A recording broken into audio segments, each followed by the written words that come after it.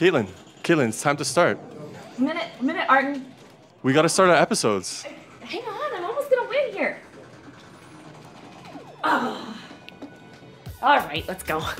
I am so distracted because I am down here at Code Ninjas in Marda Loop, and we are gonna talk to the kids, the actual coders. These kids are creating games, games like I'm playing here, literally created by the kids here. So let's go in and go find out what projects they're working on. Come on.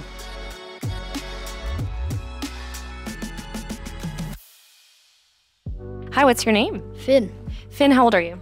uh, 12. 12 years old. And what belt are you? Uh, Brown, Brown belt. So after, I'm not a ninja expert, after brown comes black belt. uh, red belt, And then? black. Oh, so you're like super close. Yeah. That's amazing. And what project are you working on right now? I'm uh, working on uh, some stuff in the belts, so I'm working on a game called Jungle Escape.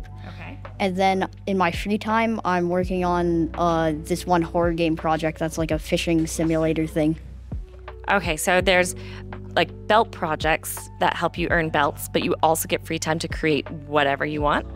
Yeah, I work on a lot of games when I'm at home, and then I work on the belt projects here. Excellent. So you actually can do both at home. So what you learn here, you take home and you start building. Yes. So which project do you want to show me? Um, I'll show the fishing thing that I just brought up now. Yeah, yeah, let's do it. All right, so I've been working on this one since about September. It's not finished, and um, it's a bit buggy, but it's meant to look super happy and joyful. But then, like, it's a horror game in disguise. That's amazing. I love that you've thought about that kind of in the branding. Yeah, I've built this in uh, Scratch, not any text coding, so it's all built in blocks, which that's pretty hard to do because this engine isn't built to do that much advanced things. So the goal of the game is to do what? Uh, to collect fish and escape. So I'll just I'll just skip to there actually. How did you come up with this idea? I love um, horror games, and Five Nights at Freddy's is one of them. And then I also like uh, have a deep fear of what's in the ocean. So I kind of just combined those two, and now we're here. That's amazing. So you're taking your own life experiences and putting them into your game. Yes. Does your character have a name? No, it's uh, your name, I guess. Oh, you get to input your own name. Yes. Excellent.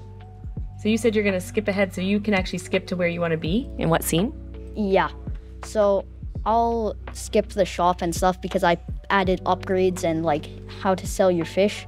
But I added this so you have to press spacebar to fish and the closer this is to the middle. So when you press space, this goes down. Yeah. Closer it is to the middle, the more fish you get. Okay. So it's, it's like a timing challenge. Yeah. And then after this, the actual game will start. So this is like a challenge in between the actual storyline of the game? Uh, yeah. So I'm on the tutorial right now, so it isn't that Oh, you got one. Right in the Yeah. center. and um, it won't have all the monsters, but this game is based off of like audio cues, so it'll be hard to play without my headphones on. Fair enough. Fair enough. So what grade are you in in school? I'm in grade uh, six, And what's your favorite subject? math. Math. Why do you like math? I just find it easy, so That's good. Do you use math in what you do here? a lot. A lot. This is cool. Do you so do you do the storylines and write all the the text as well? Yeah, so I have a tutorial thing here, and you could press X to advance. That explains it. Yeah. But you hold W to go forwards on here, and once you get to the end, it you get your fish, and if you die to one of the various monsters, you don't get your fish or anything. This is amazing. Are you the only person in your class who's creating games right now? Um, there's about one or two other kids, but not exactly on this level. But um, I actually teach a class in my school how to code in Scratch. So I've uh, I'm teaching tomorrow. So you said you're 12 and you're teaching one of the classes in your school. Yes. That's incredible. Yeah. I've been teaching that class for about maybe a year now, and this is gonna be my final year because I go on to an online school, so like on meetings and stuff, and that's happened since COVID. So I'm going back to in person and I'm switching to middle school, so I won't be able to teach the class anymore. But yeah, I've been teaching them simple games like Flappy Bird, di- like that one game where if your internet goes out on like Google, where you have to hop, uh, a, like hop um, cactuses, and then Fruit Ninja, and like I'm currently teaching a Frogger game. I know Fruit Ninja. Yeah, I've played that. yeah. This is incredible. So you're teaching a class. Do you, do you like teaching? Do you think you get into it? Yeah, I uh, enjoy teaching, and um, I'm actually uh, getting uh, better marks in school because I'm teaching this class.